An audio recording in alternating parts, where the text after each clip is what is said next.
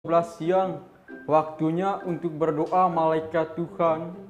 Iya, bentar lagi ya Pak. Putri kan lagi seru main. Loh, berdoa kok ditunda-tunda? Gak baik loh nak, kalau waktunya berdoa, ya berdoa. Nanti setelah berdoa, Putri bisa main lagi.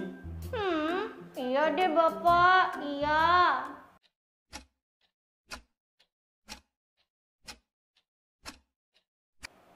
Terima kasih ya Putri, sudah mau berdoa bersama. Tapi tadi Bapak perhatiin, Putri kok malas-malasan, ada apa? Tadi kan Putri lagi asik-asiknya main Pak. Memangnya kenapa sih kita harus berdoa terus? Sebagai anak Tuhan, kita harus selalu berdoa dalam setiap keadaan. Itu merupakan cara kita mengembangkan dan memelihara iman kita. Maksudnya gimana Pak? Putri tahu tidak, bila kita menanam sesuatu, apakah yang harus kita lakukan? Rajin menyiramnya?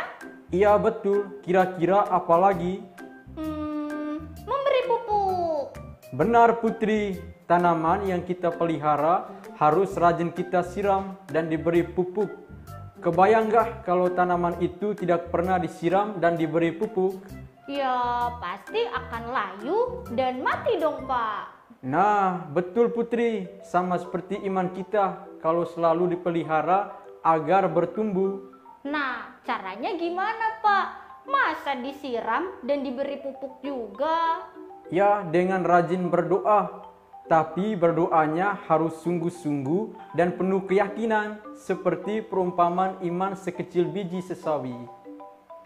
Wah, apalagi tuh Pak? Putri belum pernah dengar. Yuk, kita baca sama-sama Injil Markus bab 4 ayat 31 sampai 32. Hal kerajaan itu seumpama biji sesawi yang ditaburkan di tanah. Memang biji itu yang paling kecil daripada segala jenis benih yang ada di bumi.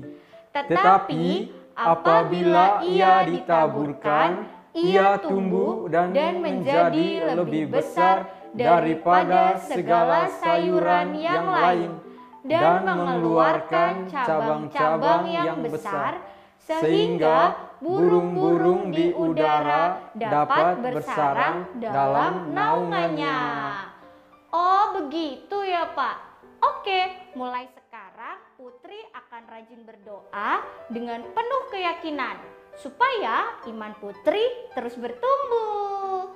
Nah, bagus Putri. Sekarang udah paham kan? Karena Putri sudah paham, Putri boleh main lagi.